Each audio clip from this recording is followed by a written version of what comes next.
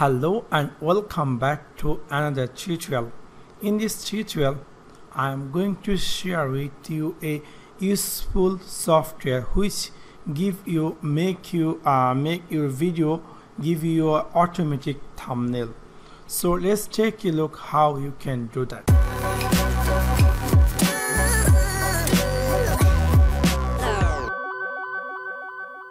For that I'm going to download a software which is called video thumbnail maker. So I'm going to open my browser and here I'm going to type here video thumbnail maker.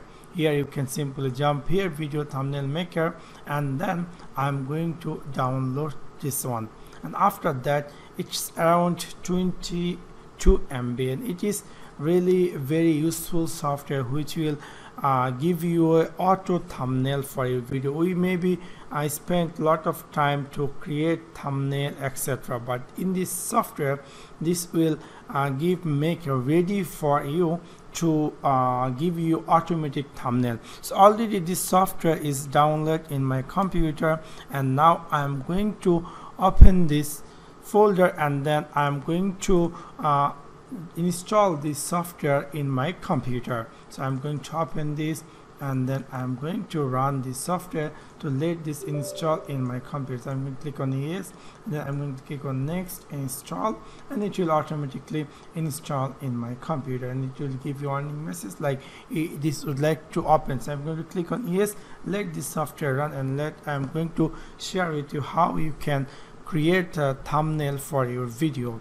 So already this software is downloaded and installed in my computer and you can see here a shortcut key appear in my desktop icon. So now i'm going to choose here whatever language you would like to set. You can set.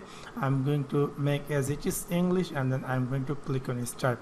Here you can add a folder or you can add file. So i'm going to click add file and then i'm going to choose any of my video and then I'm going to click on open and after that you can choose a output folder. So I'm going to click here output folder and I'm here switch to classic folder browser. So it will um, give me to a normal view so I can easily understand.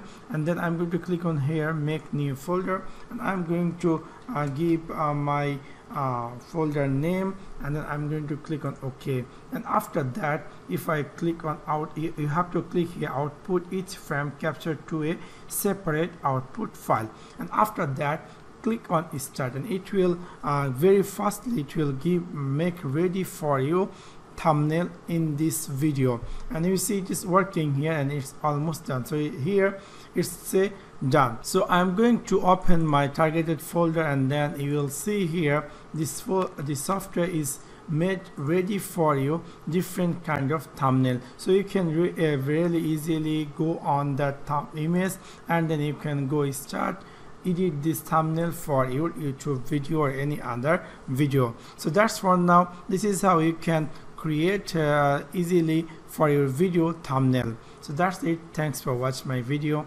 See you next one. Peace